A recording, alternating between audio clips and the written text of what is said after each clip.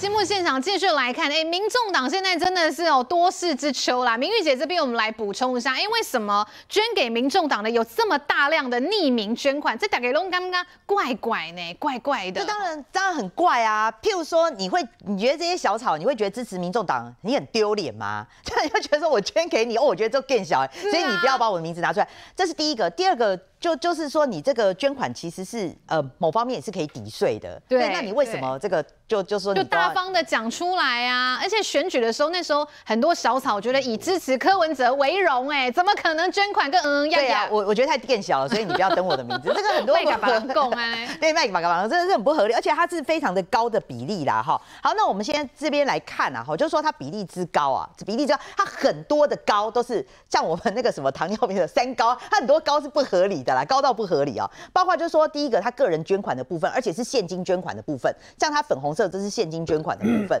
你看他现金捐款部分已经高达九十三点七了，六点三趴是汇款，他其中六点，他已经这么低比例的是汇款，其中还有二十笔是汇一块钱的，二十笔是汇一块的。我再讲一次，你会觉得太好笑了。他九十三点七趴是现金，六点三趴是汇款，他六点三趴的汇款当中还有二十笔是汇一块钱的，一块一块汇给阿贝。汇一块钱，汇一块钱，他光是手续费要三十块，哎，是，所以我捐给你，我宁可 我宁可捐一块，然后我赔我赔了二十九块的手续费，这样也没关系。啊，我去换呢，对。所以我就觉得不合乎常情了。对啊，而且你看哦，哈，譬如说像我们威廉赖啊，的赖清德赖总统了哈，他他这边是基本上，你看他完全没有粉红色的，他不是没有现金捐款，他他现金捐款只有零点四趴，不到一趴，所以他是比例已经低到连粉红色都没有。哈啊，这个当然就是说，你说侯友谊的部分，因为有有这个外界会观察说，他可能是有些年长的支持者啦，哈，年长支持者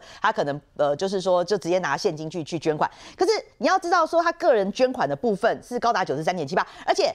之前还有讲过，有三百一十个人是直接拿的十万块现金，或是九万九千九百九十九的那个现金，是拿去竞选总部说我要捐给你。嗯，但是我我觉得这个很荒谬，是说我们十万块可能还可以理解，可是我没有办法想象拿了九万九千九百九十九块的人，他是拿了十万块去说不好意思，我只想捐，我只想捐九万九千九百九十九，麻烦你找我一块。嗯，是这样子吗？还是我说我带了一大堆的零钱，他找的那一块又拿来捐，又又拿去 汇款，然后汇款我再赔了二十五块，是这样吗？还是说？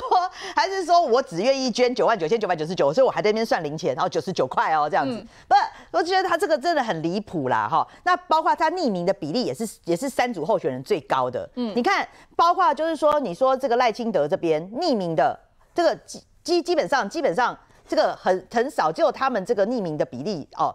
这个这个就非常的高，所以我就觉得说，哎，好好非常非常的奇怪啦，哈，对，你说这样其他人匿名比例是是九十九点七八，哦，他这个是汇款的啦，可是你说他这个连连拿现金的，连拿现金的这个匿名的比例都这么高，你都已经要拿钱去了，结果你还那个六十点八八是现金还匿名，嗯，所以我我觉得这个啦，我是觉得说整个整个他当然现在他很聪明啦，反正从头到尾他已经跟端木正翻脸了吧，政治现金全部都是端木正懒惰，端木正带带惰，然后端。木正有问题，然后全部都推给端木正，那所以他不可否认，就是说他现在当然最好的方法就全部推给端木正，是，反正都已经端木正，你把他开除党籍了，也整个翻脸了啊，所以 所以他如果现在要整个这个避险的的避险的这个看起来说法，就全部推给端木正就好了。所以这个政治现金这个风暴，哎，听起来哦真的是很神奇，耶现在乱报虚报，通通都是因为端木正太过懒惰。那我请教到洪路委员，三给三叫你贼办，你有没有遇到支持者是提起 call 来？有的耶，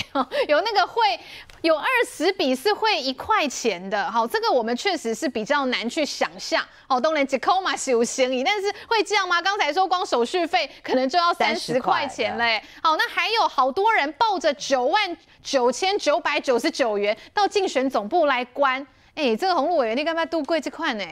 一块钱的从来没有遇到过，一块从来没有哈，从来没有遇到过。我我我觉得这个真的很不可思议耶。嗯，我既然要支持你了，我坐公车去找你都不止一块钱公车 公车票都不止都不止一块钱的。下次我捐一块给你啊，你到一下这样子。哦，我坐电车去，我有事吗？我我正想说你要坐电车啦，我才要收一块。开过大口得掐去关几块。对不对？我不管怎么样，我去到你可以你的服务处或你的总部，我都要有成本。怎么我那个成本我捐你一块？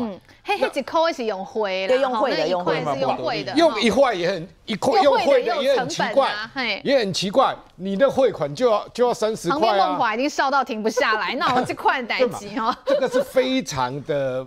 我我我认为我到现在还没有遇到很诡异的状况。但你说九万九千九百九十九哦，我认为这个是他们后来就是把它拆的啦。嗯，你如果说一笔两笔，嗯，我认为有可能，有人可能会有这个我比较特殊吉利的数字，我给你哦，对不对？但不可能那么多人都是九万九千九百九十九啊，我不相信啊，对不对？哈，那你说匿名捐款会不会有？我觉得会有，有的人他不想，但比例不可能高成这么高嘛。委员这边就状况是说，匿名捐款好会有，这我们可以理解。但是朗娜是官超贵几百扣，啊，你故意去把它拆成一万块以下，这就很怪啦。不不，所以我我我我我要你我要讲的就是说，这些都有可能发生，嗯，但绝对是特例，嗯，绝对不是像他们的比例这么高。这个绝对比例这么高，绝对不可能这样子发生的。这是第一个。第二个，我必须如果照我们刚这样这样讲，我跟你讲，你民动党你就是要承认，嗯，你申报不实，嗯，你完全是把它拆账的或怎样，不然什么叫有血有肉？嗯，那表示你知道是谁啊？我心灵这有问题，但是是因为会计师很懒惰的关系啊。我我我我我我我我觉得。会计师懒惰或什么怎么样？你申报去给监察院，那你就是申报不死啊！我我你觉得监察院或者是行政机关会说啊，我就是有人懒惰啊，所以我没有做好啊，这样就不罚你吗？啊，那如果这样的话，以后要选举的人，谁要认真呐？不是啊，我都可以随便写啊，啊也都没有事啊，啊反正就是那个承办人懒惰，嗯，我我觉得这个是说不过去。我觉得这个是说不过去的，所以整个政治现金来看的话，我跟你讲，百分之百申报不死。那你为什么申报不死？其实我认为他们很多是小草，我我认为小草捐的给他转账然后网络什么，我觉得都很多。这个应该，尤其是网络的这种，应该就很清楚是谁会来的什么的。讲句难听一点的，你只要把它列出来。你根本连抄连改都不用改，就把它附上去。我跟你讲，头痛的是谁？是检察院的人要一个个给你看啊，对不对？那你就把这个附上去就好了啊。那你为什么还要自己再去改？然后这个，我觉得这一点非常让人家想想不通。所以我认为他从一开始就觉得说，他我要拆，我要把它做成开戏的不捞戏的，开戏的是被安呢。那我最后再说一个，刚刚在讲说这个。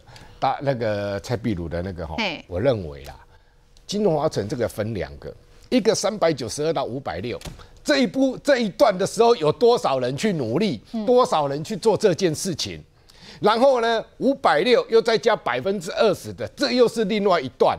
其实大家在讨论这个的时候，我觉得要把这两段给它分开切清楚下去讨论才会清楚。嗯，不然你把它混在一起哈，大家会会搞混了。而且这个过程当中一定有很多主人嘛去跟台北市政府啊去游说啊，去说这些事情的。好，政治现金的部分，等一下再来补充啦。那我这边先请教一下律师，因为就在刚刚嘛，好，宪法法庭有这个最新的消息出来。好，我们来看到呢，到底判死刑有没有违宪？好，今天宪法法庭刚才在三点钟，好最新的讯息出炉，这是有条件和限的。好，我们现在呢，社会上到底该怎么样解读这样的讯息？呃，有条件的合宪代表说，死刑在我们目前大法官的认知，过去其实好几个大法官解释都认都认为死刑没有违宪啊。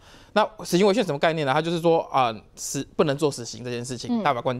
那这一次其实，在很大的辩呃宪法法庭，因为经过辩论，所以社会有特别关注到说，哎，那这一次死刑会不会过去改大法官改变过去的见解，变成说啊，死刑是违宪的？那呃，今天的结论是说，大法官认为他还是有条件的和宪。那和那些条件是什么呢？譬如说，他要求要程序上面更加的完整。嗯，例例如在最高法院，很多人啊被判死刑，上诉到最高法院就驳驳回，就变死刑确定。这一个部分，他认为最高法院至少要开开庭去了解，到底这个案子是不是真的要啊完去执行这样的死刑。另外是说，他认为应该要有一致的决议，因为。啊，最高法院有五个法官要一致的决议，在在程序上面正更加完整的去保障人权。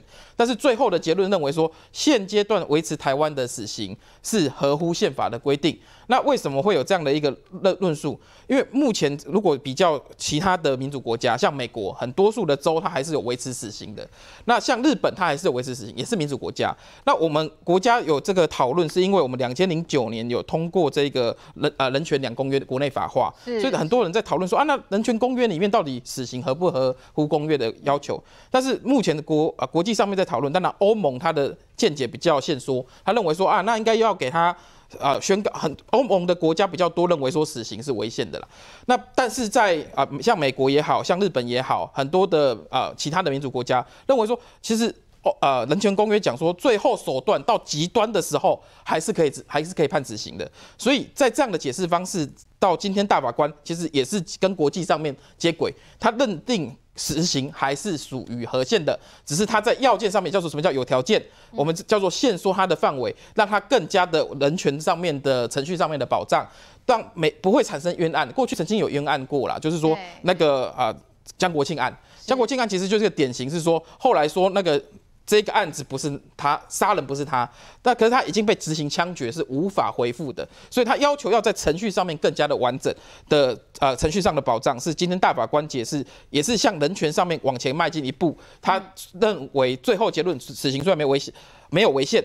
但是在程序上面还是要完整的做到人每个人要不能造成冤案这样的一个程序上的保障。是是，所以呢，今天宪法法庭好，现在宣判结果出炉，判死刑，这是有条件的和宪的。那我们稍微休息一下，等一下回来我们继续来讨论啊，因为现场宰哥啦、林涛啦、梦华啦，在打给龙三 G 鬼，看到民众党这宽不小的红线，这个真的是哦看不下去了。我们休息之后马上回来。